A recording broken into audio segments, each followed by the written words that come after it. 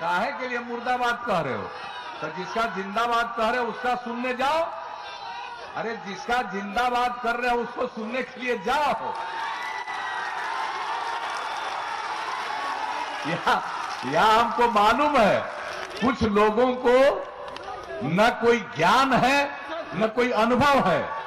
हम समाज को एक करने में लगे अब वो लोग लगे हुए हैं समाज को फिर बांट दो तो, फिर झगड़ा का माहौल पैदा करो।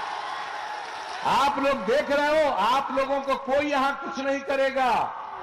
हो तुम आठ दस आदमी, और यहाँ हज़ारों लोग हैं, कोई तुमको कुछ नहीं करेंगे। कि अगर कुछ तो आप भी करेंगे तो तुमको लाभ मिलेगा।